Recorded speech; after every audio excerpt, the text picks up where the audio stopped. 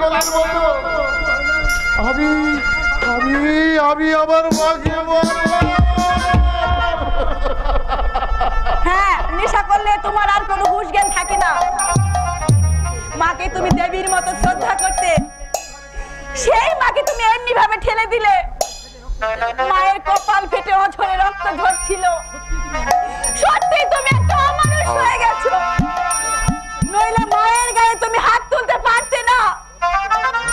রক্ত?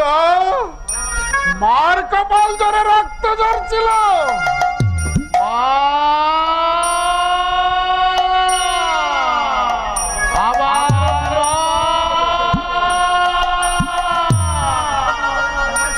যাবার সময় মা কিন্তু তোমাকে অভিশাপ দিল না। শুধু বললে, তোমরা সুখে থেকো বৌমা। যাও তুমি মাকে খুঁজে নিয়ে এসো। সারা জীবন মা শুধু দুঃখই পেল। সুখের মুখ আর দেখল না। সুখের মুখ আর দেখল না। মা! মাগো তুমি ফিরে এসো মা! তুমি আমি আমি একটা অমানুষ জালোয়ার বলে গেছি। এই হাত দিয়ে আমি মাকে মেরেছি। বাবা করো মা তুমি আমাকে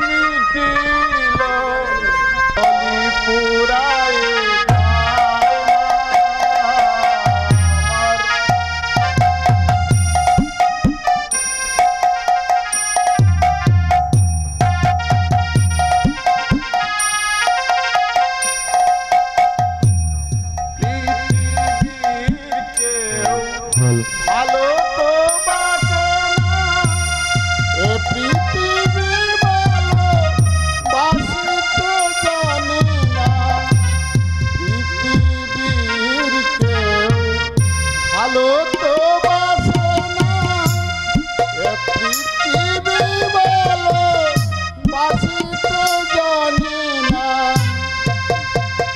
যেটাই শুধু ভালোবাসা বাসি আছে শুধু ভালোবাসা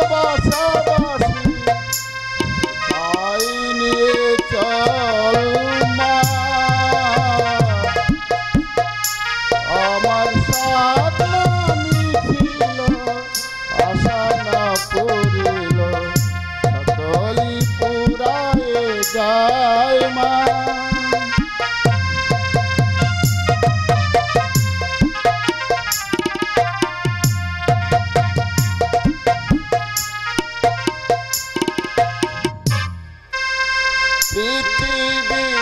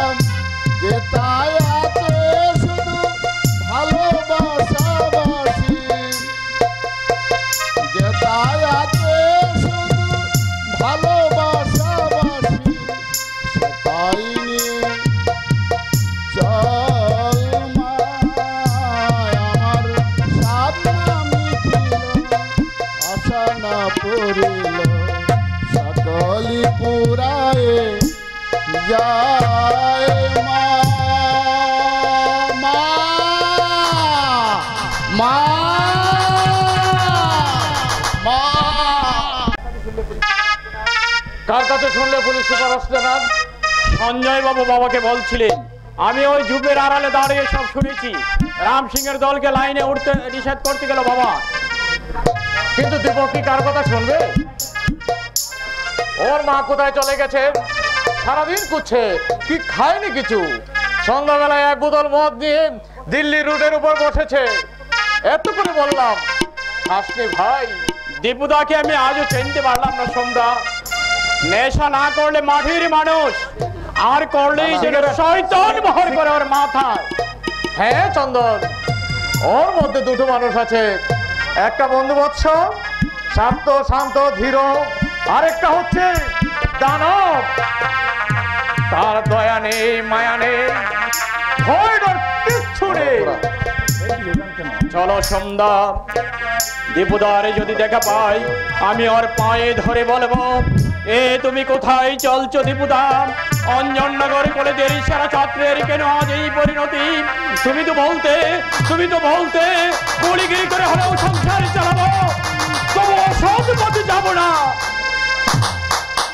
তুমি বলতে পারবে কিন্তু তাতে কোনো কাজ হবে না। কেন? যাকে দেবীর মতো শ্রদ্ধা করত সেই মাই যখন ওকে ফেরাতে পারেনি। তবু চলো সন্ধ্যা আমি একবার চেষ্টা করে দেখব। তাই চলো। চলো।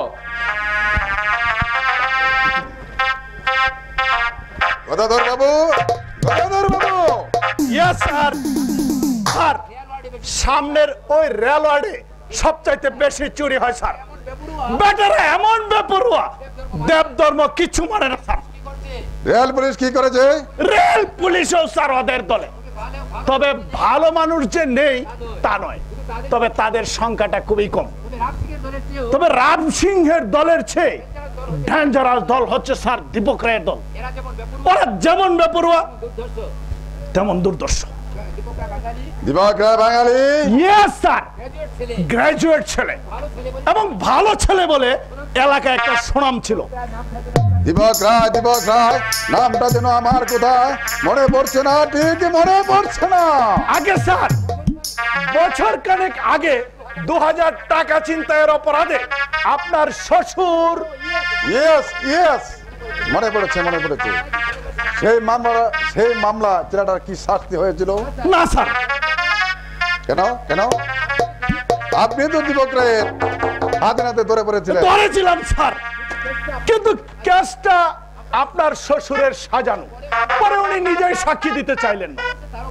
অথচ তারও কারণ ছিল। কারণ? সাতকরি নন্দী আপনার শ্বশুরের ডান হাত দীপক যখন জেল হাজতে ছিল তখন সাতকরি নন্দী দীপকে দীপকের মুক্তির জন্য ওর বোনকে বিয়ে করতে চাই তাই দীপককে আর শাস্তি দেওয়া গেল না। অথচ পুরোপুরি ক্যাশটাও স্যার ফলস ছিল। কি বলছেন কি বলছেন গদাধর বাবু দীপকের বোনকে বিয়ে করেছে সাতটি নন্দী। একটা ঘাটের মরা বিয়ে করল একটা তরুণী মেয়ে। আমার ওয়াইফ বলে স্যার মধ্য যুগের মতো এখনও সমাজের বুকে মৎসন্যায় চলছে অর্থাৎ বড় বড় মাছেরা সুযোগ পেয়ে ছোট ছোট মাছদের খেয়ে ফেলছে স্যার স্যার ওই দেখুন স্যার স্যার এই।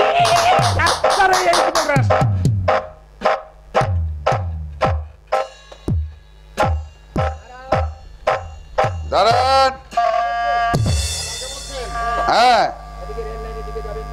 রেলের দিকে যাবেন না কেন আমি আপনাকে কই ফেরত দেবো না।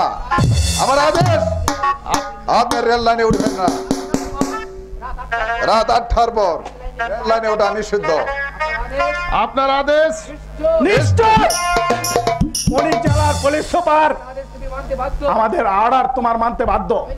নাহলে আমরা তোমাকে আরে আপনি চুপ করুন বয়ের ভাই। Sir sir. স্যার আপনি শুনলেন. আমাকে ও সালা বলছে স্যার। কি নাম আপনার? নাম আঘান ব্রেকার? নাম একটা ছিল পুলিশ সুপার কিন্তু সেটা আমার অতীত। বর্তমানে আমি একজন সমাজ বিরোধী মাস্তান আরও আরও কিছু জানতে চান? ভদ্র সন্তান হয়ে আপনি এসব নোংরা কাজ করছেন বিবেকটা আপনার বিদ্রোহ করে না। বিবেক?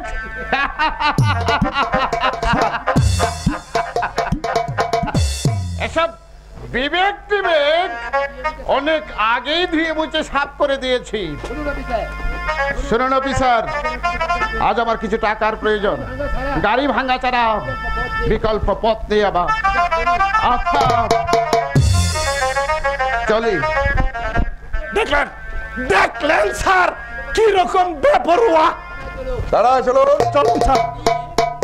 আমরা পুলিশ বাহিনীকে নিয়ে স্যার এক করে থানায় চলে আসব। চলুন। অশুভ শক্তির কাছে আমরা কখনো মাথা নত করব আর ওদেরকে অঘর মানতে আমরা কিছু থাই দেবো না। চলো চল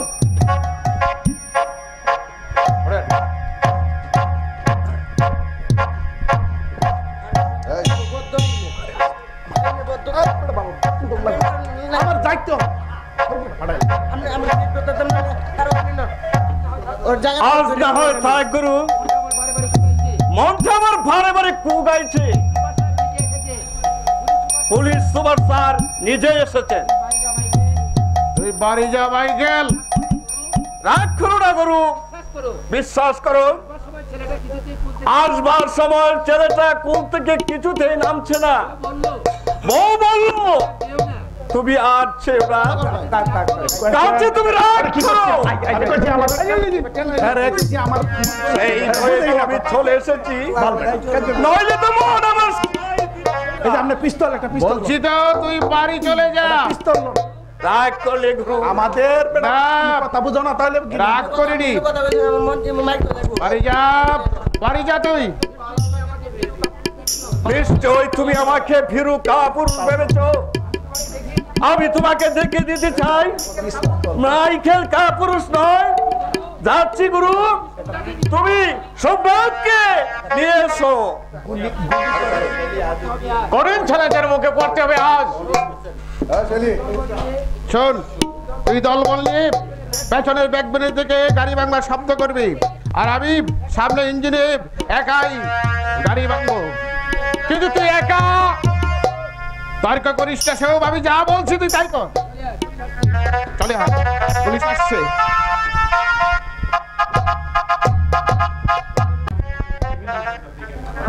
এখানে আমার মুখ দেখতে আসা। Police police. দিকে চলে যাও। ওই দিকে বেটারা গাড়ি বাঁধছে। তোমরা শিগগির চলে যাও! আহারে কি সমস্যায় পড়লাম রে বাবা। জানে যে স্বয়ং পুলিশ অফিসার আসছে। বেটাদের প্রাণের কোনো মায়া নেই। পুলিশ সুপার নিজে আসছে। তারপরে বাবু স্যার। গদাধর বাবু। স্যার। ইঞ্জিনের সামনে। এ, পিস্তল নাই। ইঞ্জিনের সামনে গাড়ি ভাঙছি। আমি দাদা। দেখুন দেখুন কারা স্যার, দেখুন। ওই দিল্লি রোডের দিকে পালাচ্ছে। রাতের অন্ধকারে স্যার কিছুতে ওদেরকে ধরা যাবে না।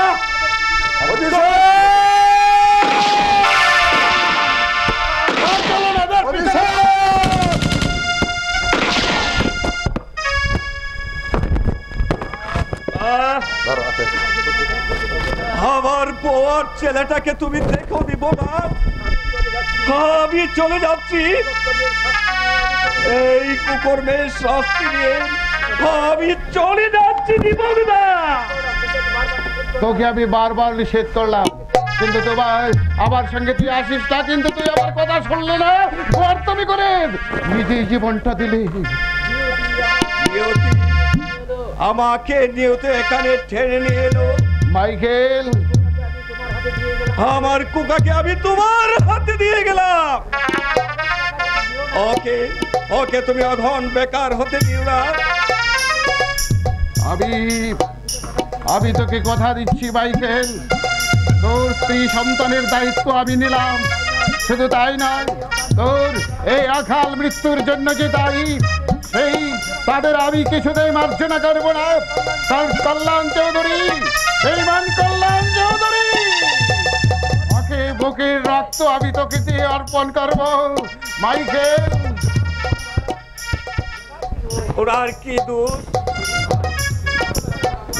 ওরা তো শৃঙ্খলা রক্ষার জন্য। আমাকে একটু জল দেবে দাদা। আমার বড় চেষ্টা পেয়েছে। আবার আবার কাজে বসলে চল এখানে জল কোথায় পাবো? এখানে জল কোথায় পাবো? আমার কাজে বসলে চল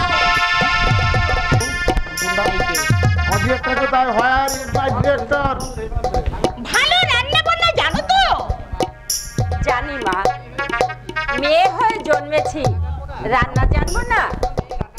সকল মেয়েই রান্না করতে জানে। বাজে কথা বলো না তো, আমি মেয়ে, তাহলে আমি কেন রান্না করতে জানি না? হ্যাঁ জানি, কিন্তু ভালো পারি না। কাল কি হয়েছিল জানো? বাবু ইলিশ মাছ নিয়ে এসে বলল, বেগুন দিয়ে ইলিশ মাছের ঝোল রাখতে বেগুন কেটে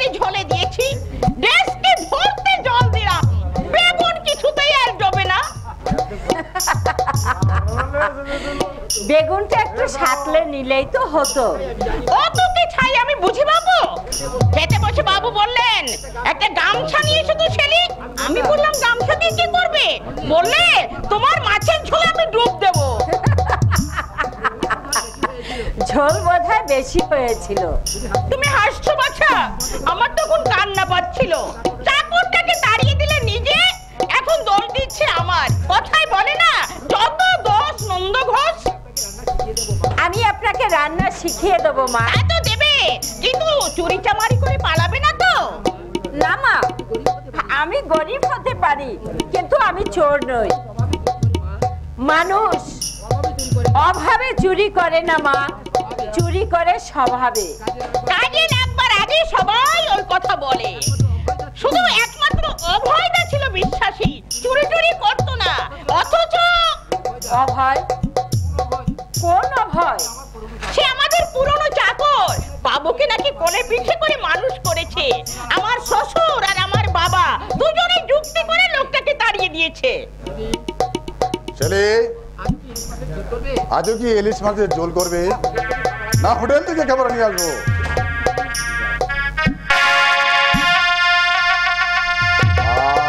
আপনি? আমাদের নতুন রাধুনি। রাধুনি? হ্যাঁ। কিন্তু কিন্তু কই কোথায়? কোথায় যেন আমি দেখেছি। ওই মুখ ওই মুখ কোথায় কখন? ওই মুখে যেন আমার অত্যন্ত পরিচিত কিন্তু হ্যাঁ হ্যাঁ, হ্যাঁ মা। হ্যাঁ হ্যাঁ বাবু। মা ঠিকই বলেছেন। আমি আমি ভিখারিনী। দয়া করে দয়া করে আপনারা যদি আমাকে কাজে রাখেন রাখেন কি? লোক না রাখলে কি না খেয়ে মরবো? তুমি ভেতরে যাও আমি আসছি। যাও। তবে যাই করো বাবু চুরি টুরি করবে না। এটা হচ্ছে পুলিশের বড় কর্তার বাড়ি। সোজা জেলে পাঠিয়ে দেবে।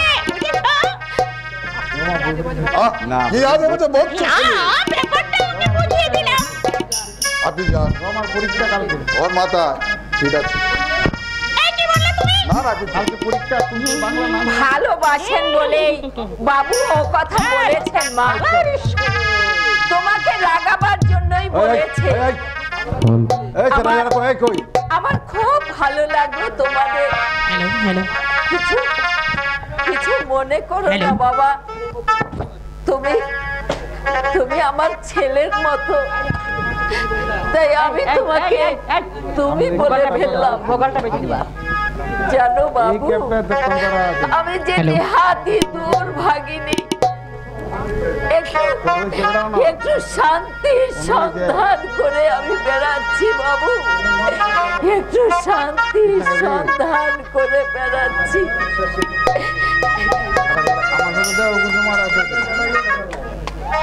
এই জানো? জানে। কি জানো? কিছু না। কিচ্ছু জানো না। তুমি জানো না। পৃথিবীতে সুখ বলে যদি কিছু থেকে থাকে। তারি নাম ভালোবাসা।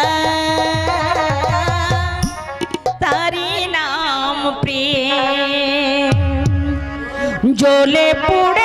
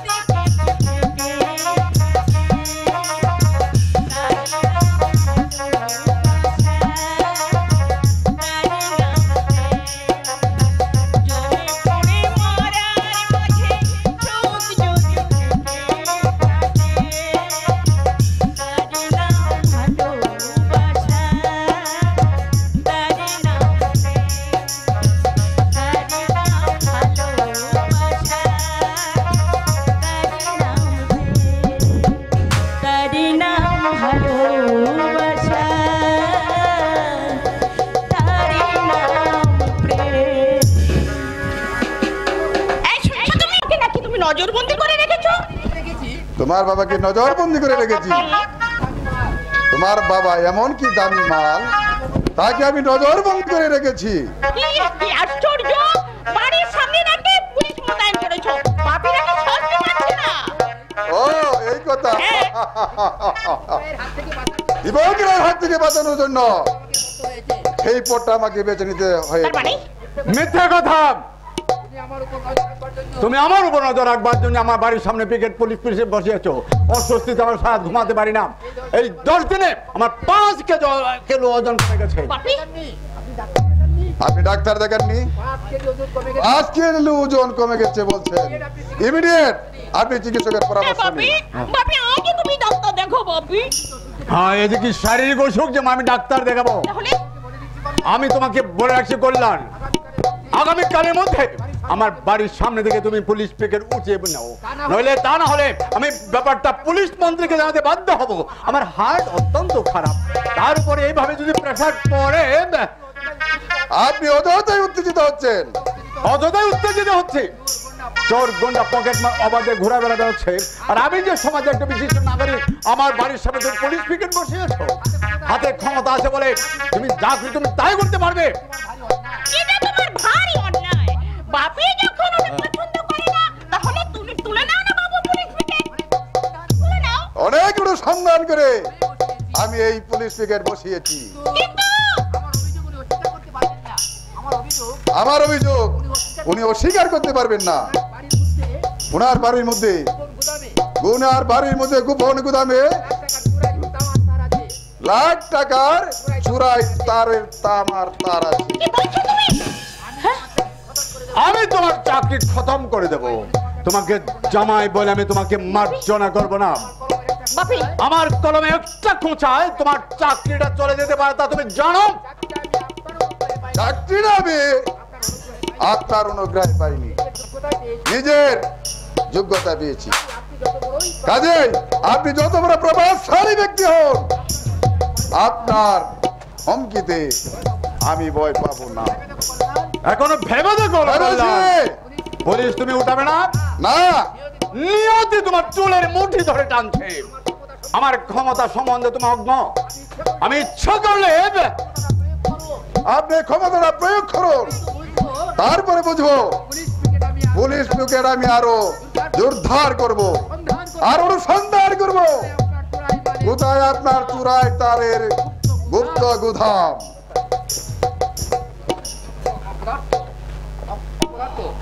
অপদার্থ বাপি! হ্যাঁ। তোর এই স্বনামধন্য বাপের অপমানের প্রতিশোধ তুই নেবে না? একটা তুচ্ছ পুলিশ অফিসার আমাকে আমাকে অপমান করে গেল। তুমি বা পুলিশ দেখে ভয় পাচ্ছ কেন? তোমার বাড়িতে তো সত্যি সত্যি চুরাই মালের গুপ্ত গুদাম নেই।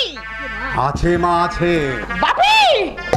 তবে মালগুলি আমার নয় হারামজাদা সাত করি আমার বাড়িতে ঢুকে দিয়েছে। কিন্তু পুলিশ তো তাকে বিশ্বাস করে আমাকে বিশ্বাস করবে। বাপি তুমি আমার বাড়িতে আর কোনোদিন আসবে না। তোমার চরিত্র! আগে আমার জানা ছিল না। ছি ছি ছি! ভাবতে আমার ঘৃণা হচ্ছে যে তুমি আমার বাবা। তোমাকে আমি দেবতার মতো ভক্তি করতাম গর্ব করতাম। তোমাকে নিয়ে। কিন্তু আজ তোমার কথা শুনে লজ্জায় ঘৃণায় আমার মরে যেতে ইচ্ছে করছে। চোরাই মাল বিক্রি করে তুমি বড় লোক হয়েছো। অসামাজিক কাজ করে। তুই বুঝতে পারছিস না? কৈফিয়ত দিয়ে তুমি আমাকে সন্তুষ্ট করতে পারবে না। চোর চুরি করে পেটের জন্য। ওরা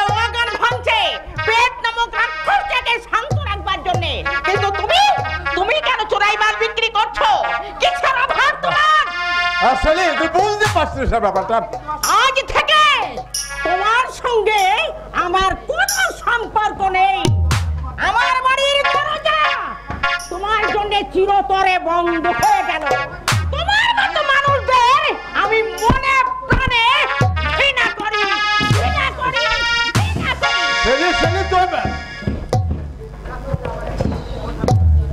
এই রাজকালটা আমার একমাত্র মেয়ের মনটা বিষিয়ে দিয়েছে। কিন্তু কল্যাণ কি করে জানতে পারল? আমার বাড়িতে গুপ্ত গুদামে আমার তামার তার আছে। জানে একমাত্র সাত করি তাকে আমি সহজে ছেড়ে দেব না। তাকে আমি পৃথিবীর থেকে না না না না না না না আমি আমি কাজেই দেখিয়ে দেব। তবে আমার নাম সঞ্জয় সেন।